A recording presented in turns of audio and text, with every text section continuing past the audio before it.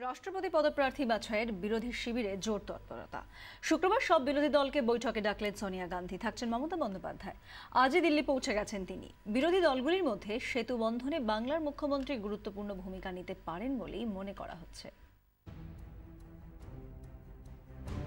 শুক্রবার মোদী সরকারের তিন বছর পূর্ণ হচ্ছে। ওই দিনই দিল্লিতে সব বিরোধী দল মিলে একসঙ্গে বৈঠকে বসার পরিকল্পনা করেছেন সোনিয়া গান্ধী।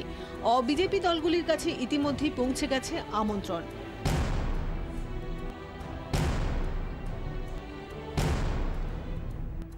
ওয়াইএসআর কংগ্রেস টিআরএস ইতিমধ্যেই রাষ্ট্রপতি নির্বাচনে এনডিএ প্রার্থীকে সমর্থনের কথা জানিয়েছে।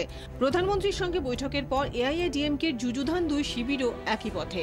ফলে বিরোধীদের পক্ষে রাষ্ট্রপতি নির্বাচনে নিজেদের প্রার্থীকে জিতিয়ে আনা কঠিন। তবে হাল ছাড়ছেন না সোনিয়া গান্ধী।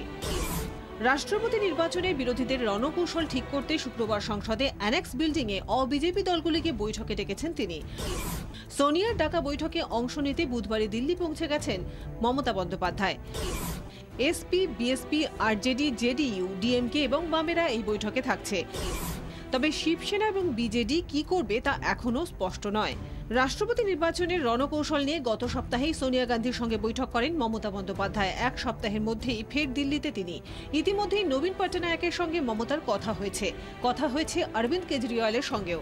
রাজনৈতিক মহল বলছে, তৃণমূলের সাংসদ ও বিধায়ক সংখ্যার দিকে তাকিয়ে রাষ্ট্রপতি নির্বাচনের রণকৌশল তৈরিতে মমতা বন্দ্যোপাধ্যায়কে আলাদা গুরুত্ব দিচ্ছেন সোনিয়া গান্ধী। বিজেপি বিরোধিতায় আঞ্চলিক দলগুলির মধ্যে সেতু বন্ধনেও মমতা বন্দ্যোপাধ্যায় গুরুত্বপূর্ণ ভূমিকা নিচ্ছেন বলে মনে করা হচ্ছে I have no personal choice. That let us decide. Sometimes, you know, the country is greater than anybody else.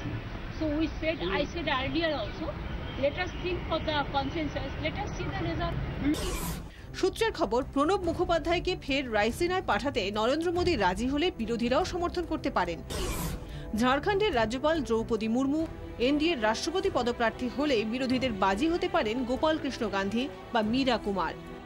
Raisina রাজসিংহাসনে কে বসবে তা হয়তো সময়ই বলবে, কিন্তু এই মুহূর্তে প্রায় দাবার বোর্ডের মতো চাল সাজাচ্ছে শাসক বিরোধী দুই পক্ষই। এই মুহূর্তে দাঁড়িয়ে সমস্ত বিরোধী দলগুলিকে একজোট করে সহমতে নিয়ে আসাই সব থেকে বড় লক্ষ্য। সেই লক্ষ্যেই দ্বিতীয়বারে দিল্লি সফর শুরু করলেন তৃণমূল নেত্রী মমতা বন্দ্যোপাধ্যায়। ক্যামেরায় নিশান ত্রিপাঠীর সঙ্গে জ্যোতির্ময় কর্মকার চব্বিশ ঘণ্টা।